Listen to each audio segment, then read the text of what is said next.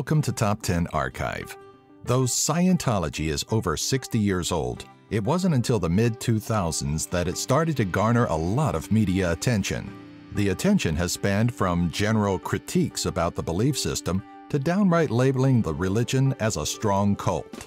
Regardless of personal opinion on the Church of Scientology, it's difficult to deny that it does have a rather interesting history that was chronicled in HBO's Going Clear documentary. In this installment, we're going to dive into L. Ron Hubbard's creation and siphon out 10 of the most interesting tidbits about the church, its beliefs, and some of its sordid past. Number 10. The Human Spirit. Until HBO's Going Clear, chances are if you asked anyone to recite what the Church of Scientology truly believes at its roots, few would have been able to answer. Truth be told, many of these people probably have heard the belief system, but maybe attributed it as the plot of the next Ridley Scott movie.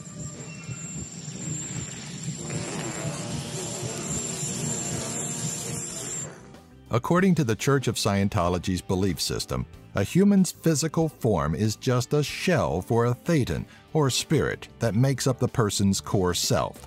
The thetan is the mind of the human, and all physical components are just aspects that it controls. The human body is thought to be a shell that the thetan moves on from after the physical form expires. Number 9. Thetans and telekinesis.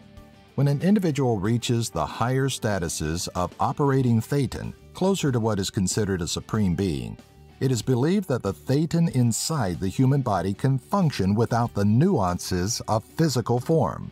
What this boils down to is that the church believes we are able to achieve such a level of clear that we can be telekinetic. The concept even made headlines when it was alleged by the Church of Scientology in 2012 that the religion's poster boy, Tom Cruise, had reached such a level of operating Thetan that he was a telekinetic. Of course, there are those that believe the church will use Cruise for any means of propaganda. Number 8. The true belief system was once hidden. There was a time when even members of Scientology didn't quite understand the true belief system of their church. Scientology, that's, I didn't know it was like that. I thought it was something else. And you're like, yeah, it's not. Before the wonders of the internet and the mainstreaming of Scientology, people initially signed on with the intention of achieving a state of clear, which is basically a state of mental cleanliness. Once one reached a status of clear, they would start a journey of the operating Thetan, which essentially is when Hubbard's belief of Xenu and the alien Thetans is made known. When a member reached level 3 of the operating Thetan scale, they would receive, in secret, a copy of Hubbard's handwritten notes and manual that detailed Xenu and his genocide of Thetans. Number 7. Scientologists generally shy away from Xenu.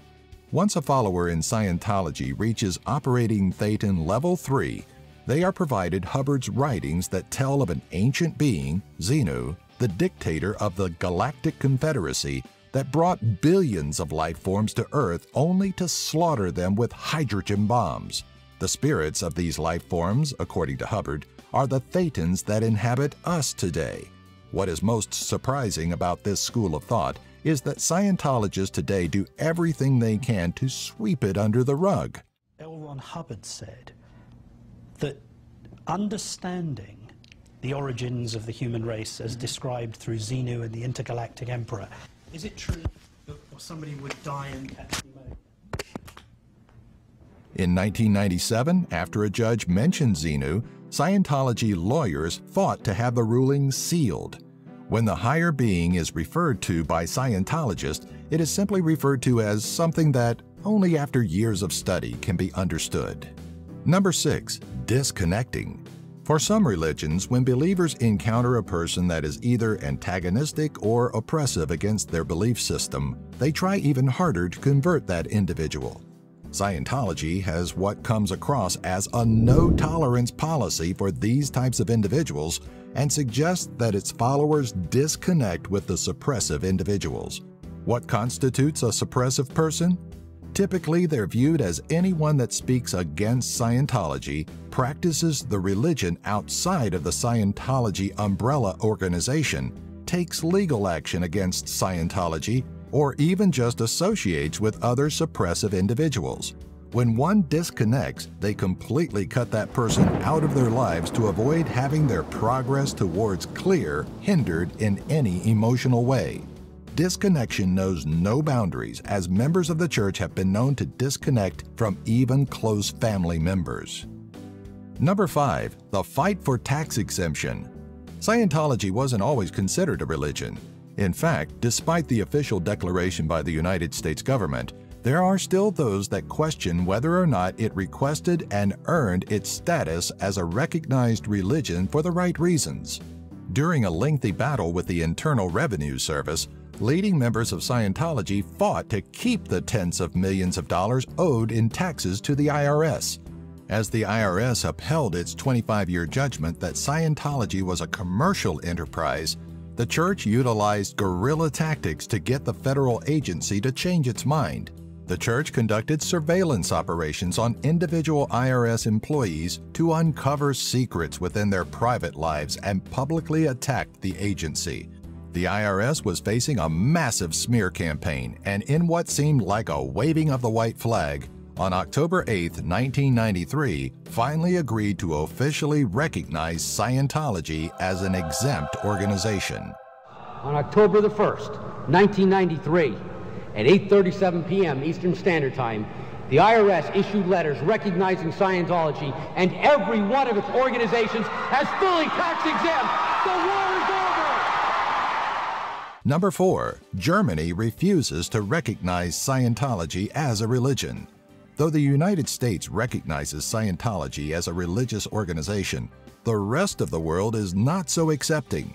The church has had a presence in Germany since the 1970s, but that hasn't been due to a mutual relationship. In fact, Germany is quite outwardly opposed to the existence of the church. German press and the country's government have been known to speak out against Scientology and regard the organization as an abusive business under the guise of a religion. There is strong dissent against the church within the country to the point where posters had been publicly posted, though later ordered removed, warning the public of Scientology's hidden dangers. Despite the battle it had put up against Scientology, the United States government now criticizes Germany for its stance against the religion, showcasing hypocrisy at its finest. Number 3. France considers it a cult. Like Germany, there are still countries that hold a very negative viewpoint, though some are a bit more brazen and forceful with their negative opinion. Unlike the United States, France has deemed that the Church of Scientology is a dangerous cult. Fraud and embezzlement have been charged against some of its leading members, but possibly the most sinister of accusations is the church's link with the suicide of Norwegian student Kaja Ballo. No charges were brought against the church, but the case did not help the country's already negative viewpoint. Number two, the church is worth over $1.2 billion. The thought of a church worth anything more than just its religious value may sound a little absurd, but it's not really all that uncommon. Some attribute the massive worth of Scientology to the likes of celebrity spokespeople like John Travolta and Tom Cruise. But regardless of how the money was earned, a 990-T exempt organization business income tax uncovered in April of 2014 showed that two of its affiliated organizations showed a value of over $1 billion.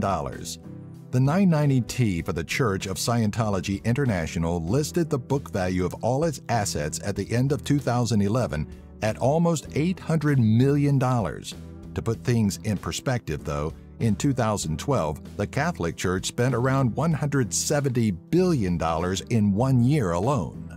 Number 1. Hubbard was an alleged abuser. Scientologists praise Hubbard for his ideals and salute him during large congregations, but the general public may have a different viewpoint on Scientology's creator. Hubbard's second wife, Sarah Northrup, divorced the writer after a six-year marriage, but court documents don't paint the divorce as some clean mutual agreement. According to Northrup, Hubbard was an abusive man. She alleged that Hubbard would try to make her commit suicide to avoid divorce proceedings. She also claimed he kept her sleep deprived, nearly strangled her to death, and ran over her with their car. One of his more famous feats against Sarah was the kidnapping of their child, Alexis. Hubbard had taken Alexis to Havana, Cuba, and was said to have called Sarah, claiming he had murdered their daughter, all as part of a sadistic mind game as Alexis was alive and well with him.